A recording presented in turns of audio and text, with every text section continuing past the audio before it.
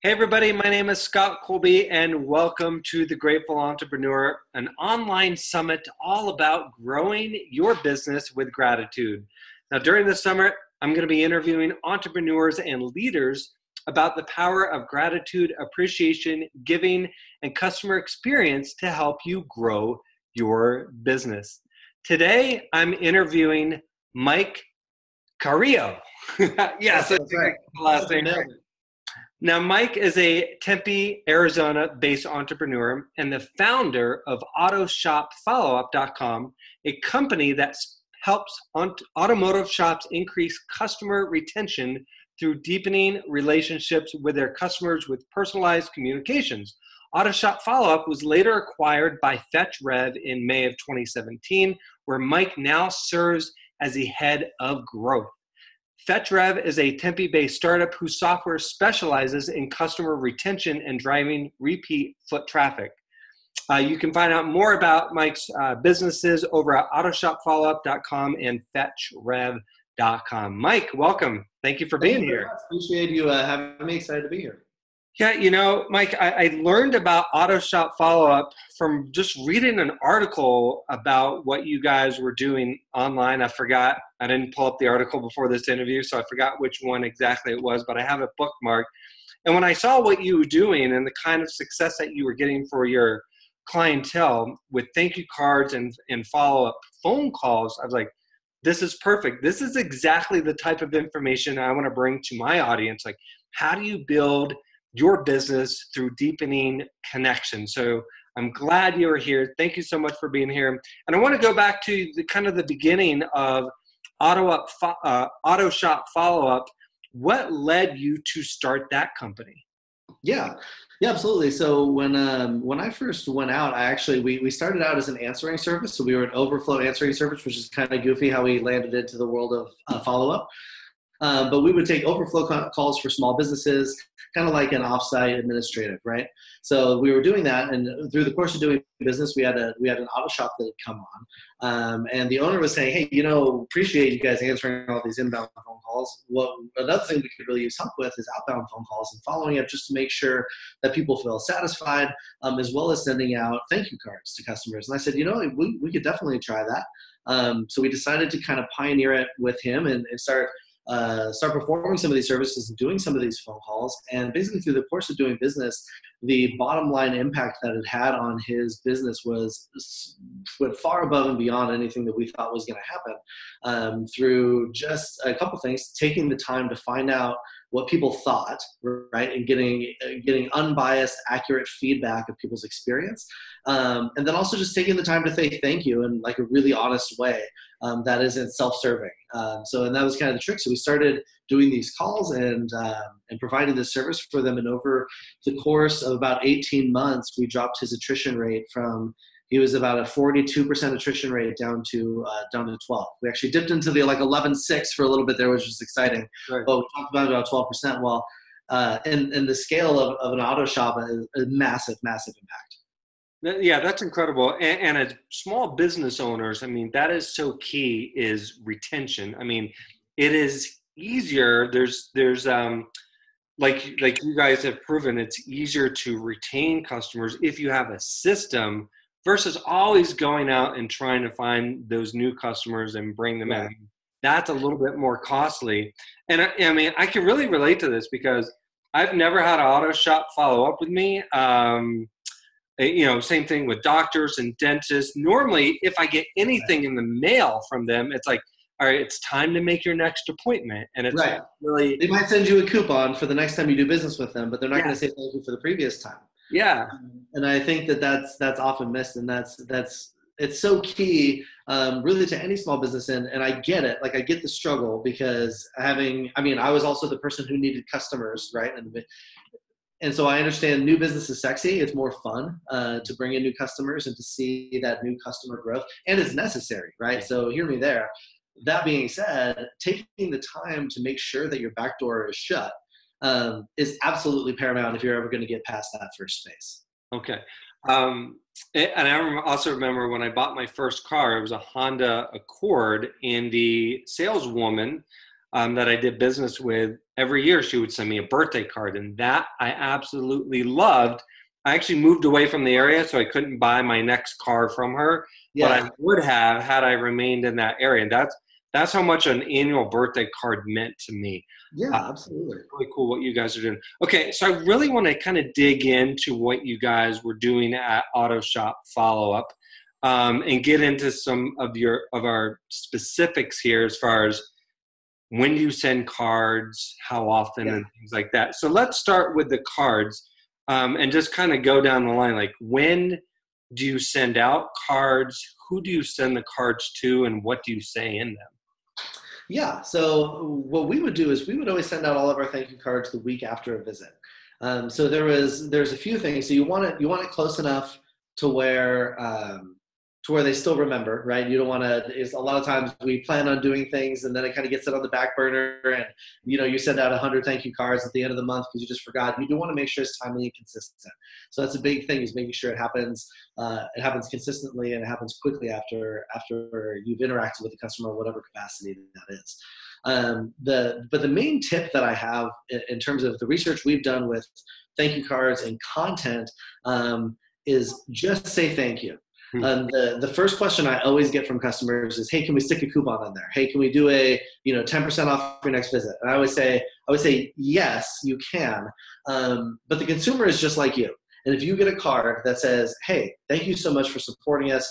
We appreciate the trust that you place on us as an organization," um, that makes you feel like, "Wow, hey, thank you for doing that." As soon as you see, "Hey, 10% off your next visit," you're like, "Oh, I see what this." I mean, it's still good. It still feels great. You know, like it still feels like a thank you, but at the end of the day, it was for pushing me to really just get back in the door again.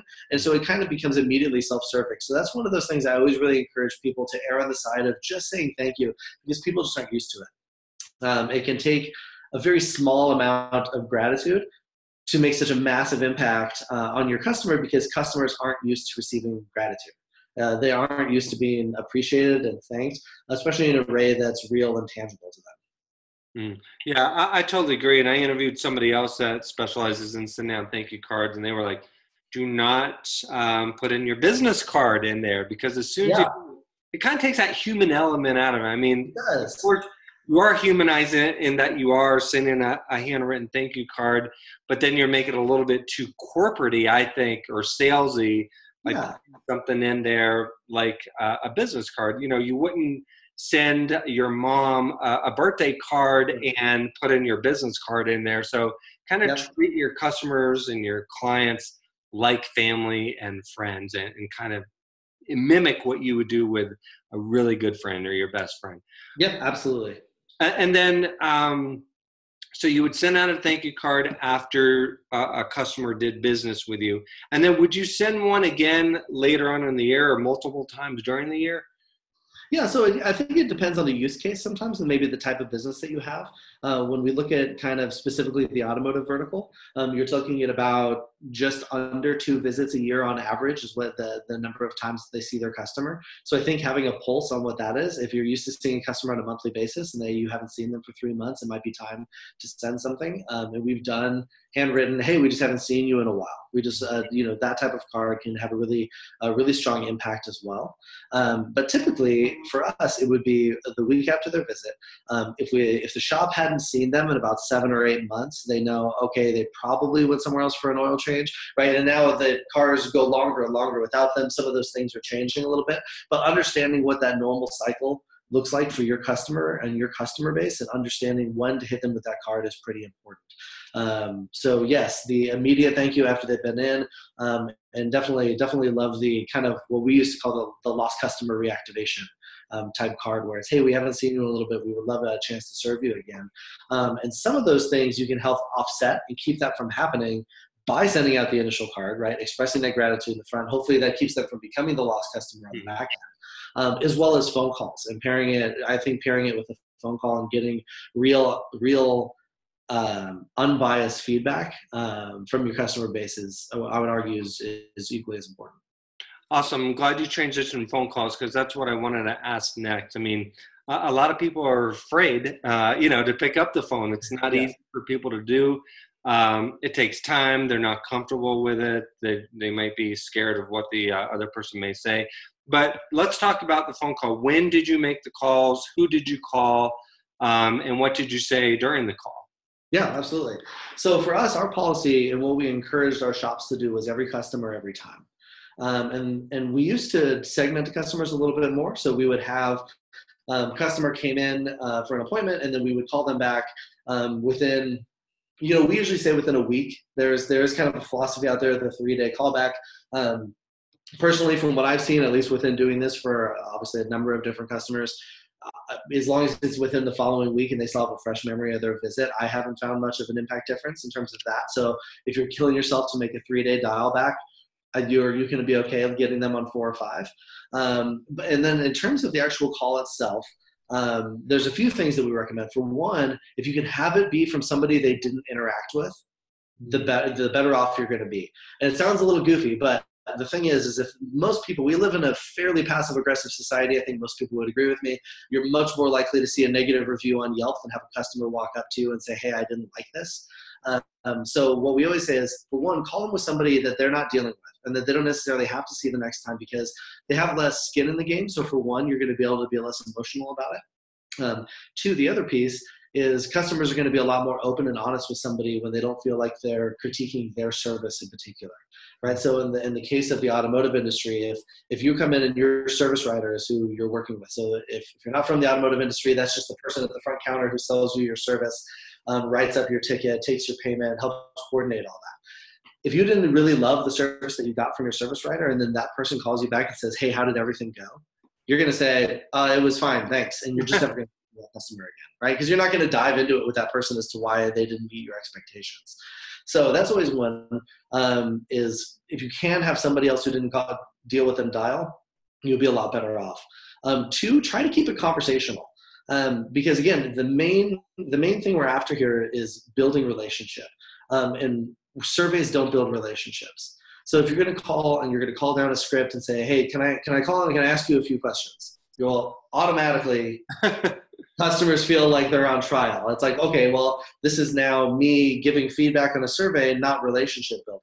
But if I said, hey, Scott, I saw you had your report in for an oil change last week. I just wanted to call and follow up and make sure everything's running okay. Is it, how did everything go when you were in the shop? Hmm. Right? It's just start a conversation.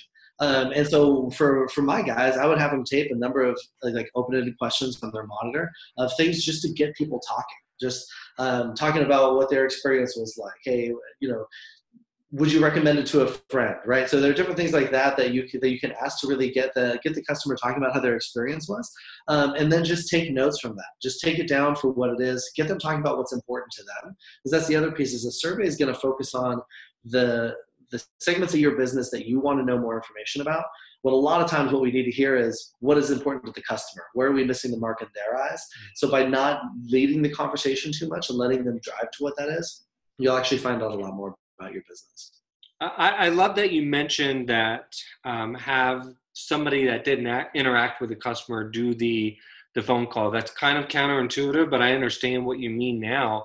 They're going to be more likely to be honest and be open with a, yeah. person than they interacted with. Um, so you're basically doing the the follow up call around the same time as the thank you card, right? Within a, within a week within the same week. So they may get the card first, they may get the call first, and um, from what we've seen, it, it, it, doesn't, in terms of just general customer satisfaction scores, um, it doesn't really change much in terms of when that arrives. Um, but we have found uh, significantly higher retention rates in terms of actually doing a handwritten thank you card. Um, so that definitely does make a massive boost. And then I know you guys were big on getting um, your customers to write reviews. Yeah to write online reviews. So talk a little bit about that. Are you are you asking them outright to write a review during the phone conversation, or how did that work?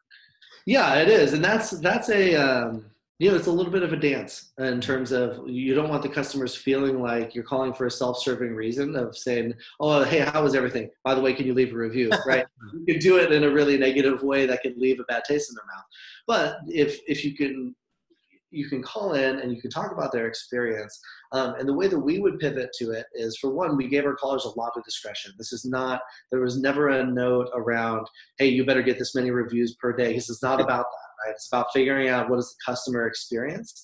Um, but then if we had that person who was on the line and they were just like, oh man, we love you guys.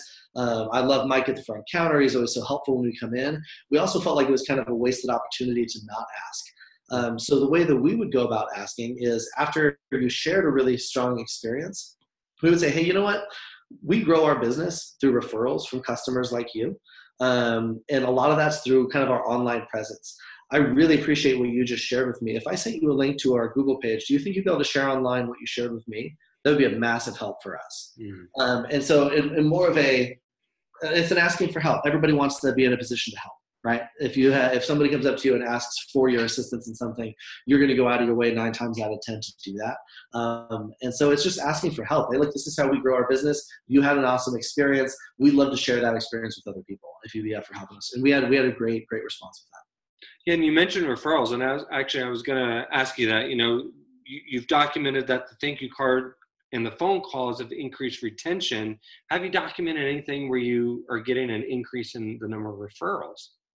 Yeah, so we had a number of customers who um, had programs in place where we would actually send out, um, you know, if they if they sent a referral, we'd send out some movie tickets or things like that. Some of them had more tangible referral um, programs.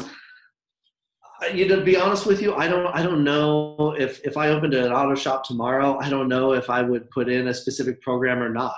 Um, I saw some shops that had really, really great success with it, and I saw other ones where if your retention is so good that your customers know they're coming back, they're referring you customers. Yeah. So if you if you get to that point where you have that raving fan, that individual doesn't need incentive to send you uh, referrals. Does that make sense? Yeah. So, yeah. I wish I had a little bit more of a straight opinion to give you and my thoughts on the matter, but um, I think if you're doing it right on the front end, you don't necessarily need that, at least from a standpoint of advertising. Recognizing it 100% paramount, right? And you want to send the thank you card when they send you a referral. You want to send them something in the mail saying thank you when they send you a referral. You want to recognize it. Whether or not you have like a specific program with the register saying, hey, if you send us a referral, we'll send you X in the mail. You know, I would say I could go either way on that. Yeah, you know, and I, I agree. You know, if, if, you have a great experience at, at, a restaurant, you like the service, you like the food, you're gonna post it on Facebook or, or um, right. you know, post it on Instagram. Or the next time somebody asks, "Hey, I'm looking for an Italian restaurant in in uh, Tempe, Arizona. Do you have a recommendation?" If you've had that good experience, you're going to post or, or share that experience with your friend. It doesn't have to be in a formal referral program. So I definitely yeah. the businesses that I'm excited about doing business with don't need any help. Right. right. I'm I'm I'm excited to tell you about it. And that's that's really the kind of culture that that we were striving to drive for our customers. And then what were there any specific way you were tracking retention? Like, you know, you mentioned how the one um, company that you the one auto shop that you started with uh, with this system had an increase in in the retention by a certain percentage. Was there a specific way that you track that, or that you track that now?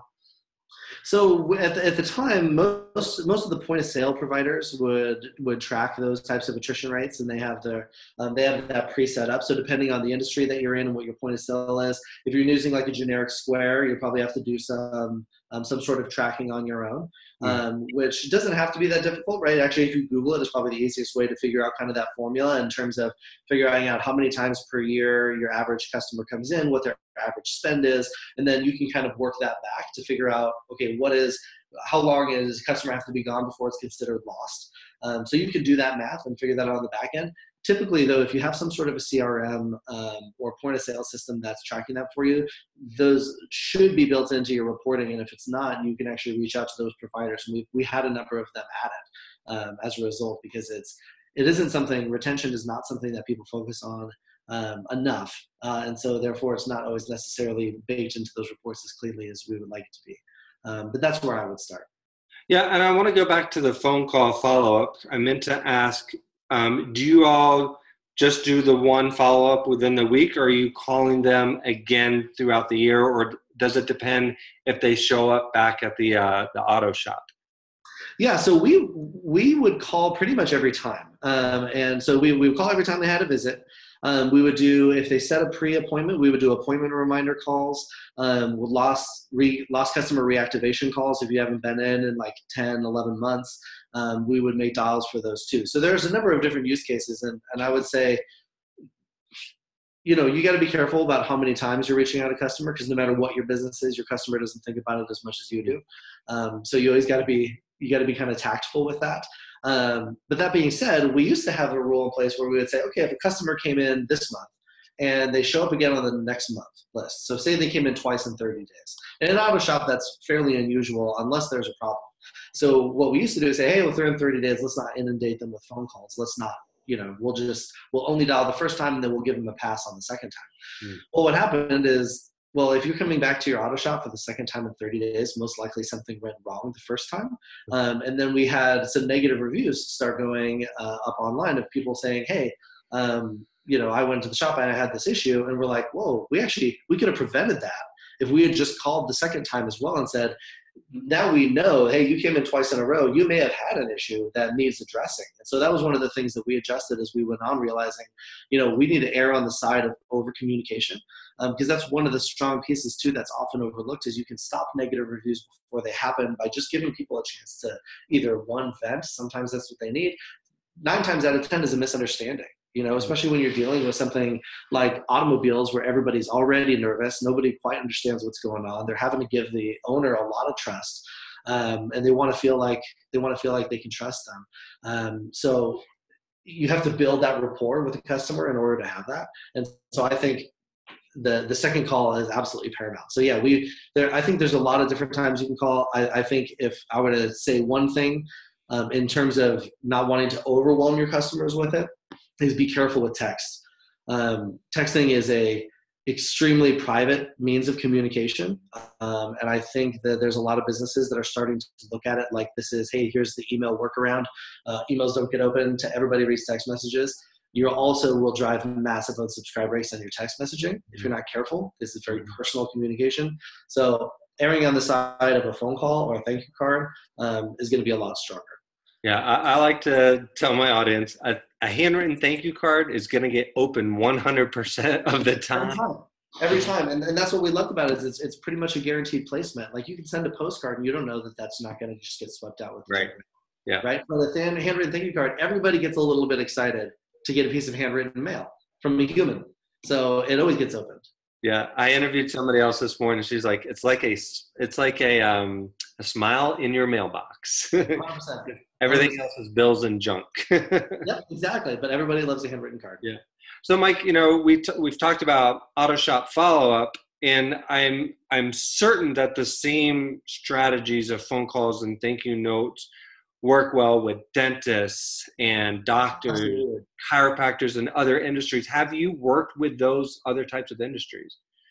Yeah, so we've worked with a number of different industries. I mean, like dent- dentists is a dental is a big one.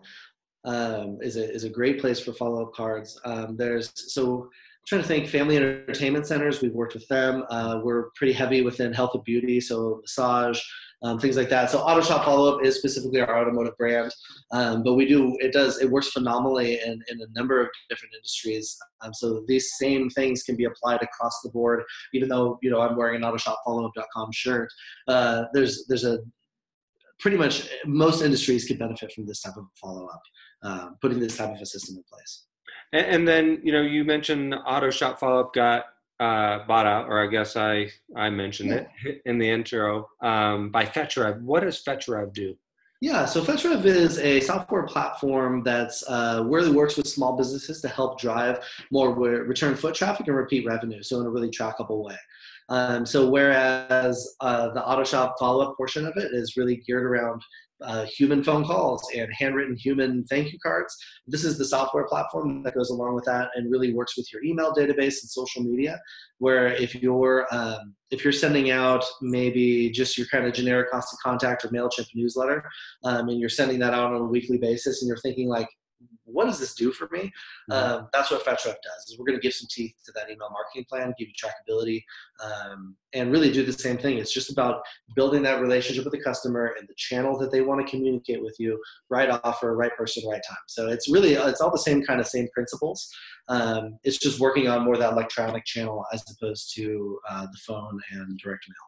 And probably the sweet spot is to do both, right? To to work. Well, and that's yep, and that's exactly how we kind of came to be, right? So that's uh, it's it's all the strength in in doing it consistently across the board is huge. So you're still are you still doing the kind of the the handwritten thank you card component and the the yep, uh, yep. handwritten phone card component, the uh, telephone calls, um, as well as the software platform. Just really all working hand in hand now. Awesome. Well, that sounds like a great partnership. So I wanted to congratulate you. Uh, yeah, thank you. Thank you. It's super exciting. I definitely am pumped to be here and, and love FetchRev. Cool. Well, Mike, um, yeah, we just want to wrap this up. Thank you so much for being here. I mean, uh, like I said at the beginning, you are doing it right. I think more businesses need to be sending out thank you cards and calling up their their customers, getting to know them on a personal level, deepening that connection cultivating the relationships. And when you do that, and when you see your customers as people and not as dollar signs, you're automatically going to grow your business through retention and referral. So you're doing it right. And I want to thank you for being here and sharing with my audience how to do it. Yeah, absolutely. It's my pleasure. I appreciate the invite. I was excited to be here. And, and definitely, and I, I want to make it clear that it's, you don't need to hire an outside service to do this for you. Um, you really absolutely can implement this tomorrow in your own business in an affordable way that's going to drive tangible results back in your door. It's absolutely hands down worth doing and putting it in place. Uh, I'm always available. I mean, anyone can get me at mike at fetchrev.com. Um, if you got any questions about your program um, or just how to implement it or uh, anything, I'm, I'm always happy to help. I, I love to network and connect with folks. So if I can help in any way, I'm happy to do so. But thank you again. I appreciate it very much. I was excited to be here. Awesome. Everybody watching, thank you for tuning in to this interview with Mike and learning more about how to grow your business with phone calls and thank you cards in a, a systemized way. I think you, everybody should implement that in your business. Um, until next time, we'll see you back here with another interview for the Grateful Entrepreneur Summit. Bye, everybody.